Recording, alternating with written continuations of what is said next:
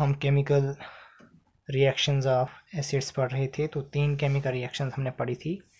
तो आज fourth reaction है reaction of acid with metal carbonate अब कोई भी मेटल कार्बोनेट ले लें हम, ठीक है? मेटल को जब कार्बोनेट के साथ रिएक्ट किया जाता है तो मेटल कार्बोनेट बनता है। तो जब एसिड को हम मेटल कार्बोनेट के साथ रिएक्ट करेंगे तो हमारे पास साल्ट वाटर और कार्बन डाइऑक्साइड फॉर्म होता है।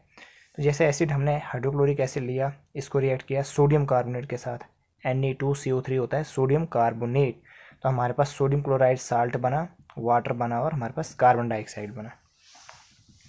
फिफ्थ रिएक्शन है एसिड की रिएक्शन करनी हमने मेटल हाइड्रोजन कार्बोनेट के साथ। वो था मेटल कार्बोनेट और यह है मेटल हाइड्रोजन कार्बोनेट एसिड लिया हमने H C L hydrochloric acid metal hydrogen carbonate जैसे N A H C O three this is sodium hydrogen carbonate sodium hydrogen carbonate हमारे पास साल्ट बना N A C L water और carbon dioxide produce होता है।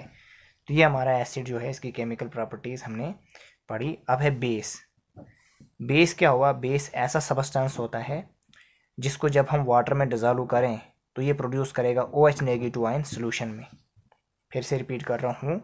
Base क्या होते हैं? दो substances which one dissolve in water produce O H negative ion in the solution जैसे हमने कोई बेस ली सोडियम हाइड्रोक्साइड जब इसको वाटर में डिजॉल्व किया तो ये क्या प्रोड्यूस करेगा? O H negative ion solution में, साथ में एन ए पॉजिटिव भी। जैसे ammonium hydroxide N H four O H क्या है?